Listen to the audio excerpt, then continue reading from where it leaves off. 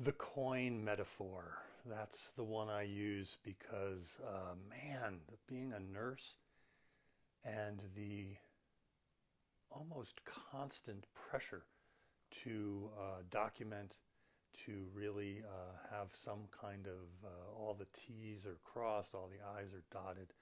Uh, ever, every organization I've worked for, even not as a hospice nurse, other organizations um, really rely on documentation. Uh, the Department of Health is coming, JCAHO's coming. Uh, it's just the documents need to be in order. But then, lo and behold, there's an actual patient, an actual person, and in terms of hospice, is dying. I mean, they need the help that they need. And I find the contact with the patient is so profound, it's so moving, it's so, I have to really be present and I cannot be really what I call in service to the patient. I really can't be with them on their journey until I let go of all the things that have come before that visit and anything that's going to be coming after, which includes the documentation. So at some point, of course, I pick up my computer, I'm checking their medications, I'm looking through uh, the notes I have from the last visit. Was there something I forgot to ask them about? At some point, I go into kind of more of a mixed mode.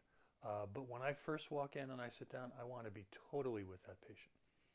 What the coin means to me is a coin is something that has two sides. It has two sides clearly, uh, and yet it's one thing.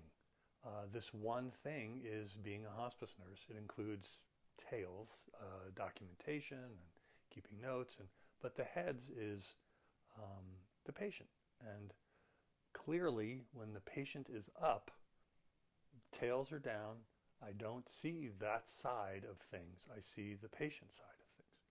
When I walk out, uh, I'm making some notes after the visit.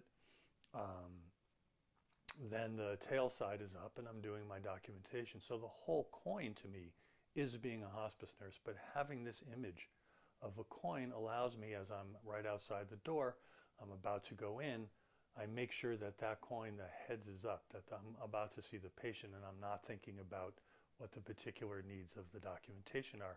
I'm going to go in and I'm going to be present for that patient that time.